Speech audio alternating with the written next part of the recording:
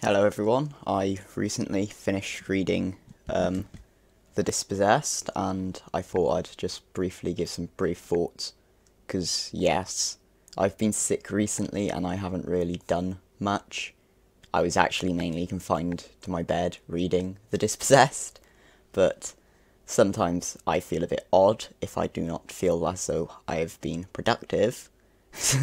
so um, yeah, I thought I'd make a quick little rambly video, as I always do, talking about, um, well, yes, the dispossessed. What I particularly want to focus on is um, the dispossessed and its kind of intersections with um, some of Max Stirner's work and his idea on sort of egoism and uh, the individual and individual freedom. Uh, the main intersection that I see is, of course, um, the dispossessed is quite critical of um, how the sort of society on Anarres has sort of became, uh, well, there's kind of unspoken hi hierarchies. So, whereas, like, no one actually holds, like, these power, they're able to sort of influence others, and everyone sort of suppresses their own desires in the idea of sort of being, um, uh, what's they called, uh, altruistic and sort of serving society.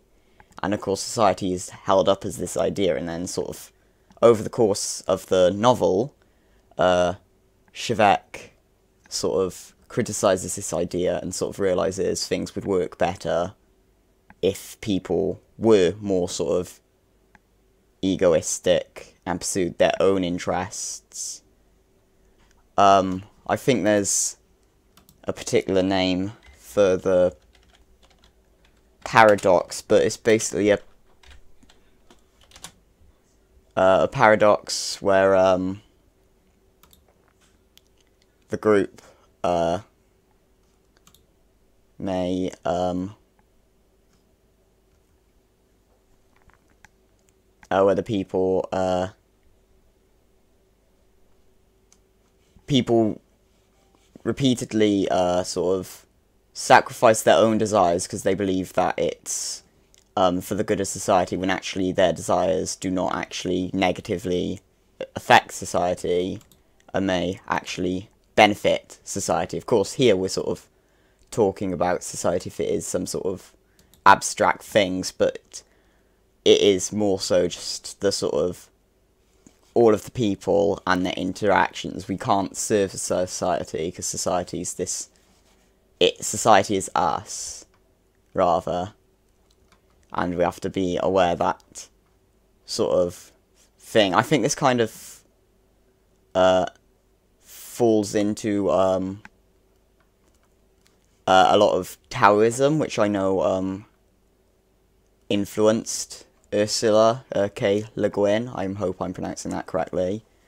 Uh, that sort of, uh, yeah, because Taoism is very much like uh, Wu Wei, the concept of sort of the best way of acting is to not act. That doesn't mean like be totally inert, but to sort of, I've seen it sort of explained as being the least expenditure of energy sort of based on natural observations, but I don't think that's a very good way of understanding it from what I've been told.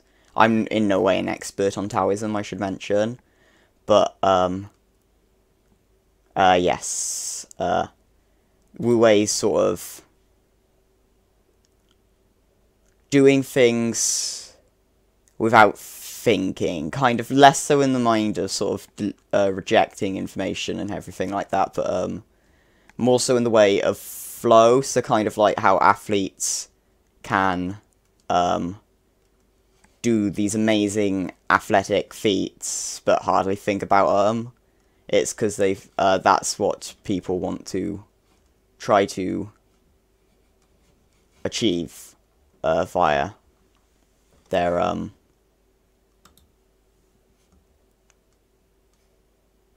uh, by their uh, what's it called? Sorry, I'm, I'm still not thinking entirely clearly. I'm still somewhat ill. Um, so where is I? Taoism?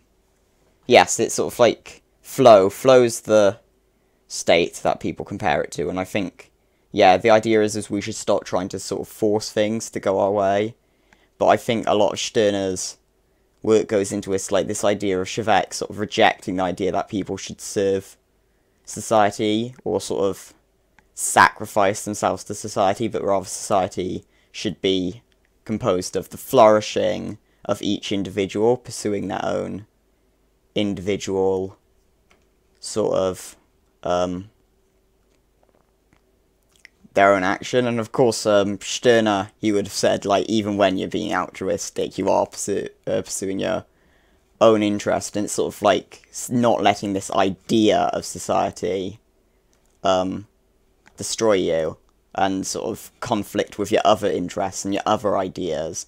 Like, very much like uh, Stirner wouldn't say, "Oh, don't be an altruist." In fact, he wouldn't make any any moral claims whatsoever. Stirner sort of it seemed to me in the unique and its property that he's just sort of describing how he lives and how he sees things as opposed to um sort of telling you how to do things. Of course, he wants to share maybe and sort of maybe um get this sort of um sense of familiarity, uh, but um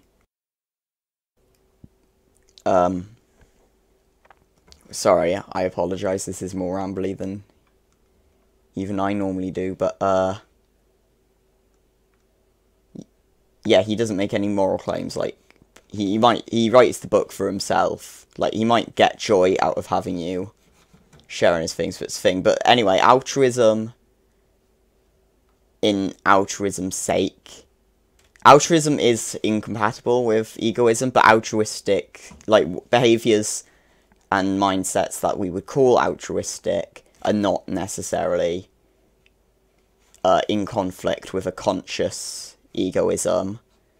Uh, like, for example, like Shevek kind of represents this quite well in that he sort of still pursues the best for other people, but that's because he cares about them, he has emotional attachment, and he sort of realizes that without this sort of abstract society, so basically without uh, other people and his interactions with them, Shevek uh, can't sort of thrive. He, he, he would be emotionally lacking, and uh, many of his needs would fail to be met, and he would lack like these important feelings to him, like solidarity and stuff like that.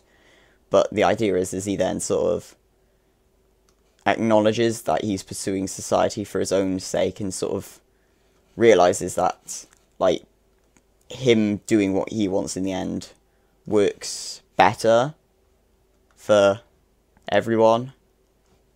Yeah, I'm not um, explaining this very well, and I am rambling, but uh, yes, I believe that I've sort of made something maybe for people to think of. Um, have a nice day, everyone. Thank you.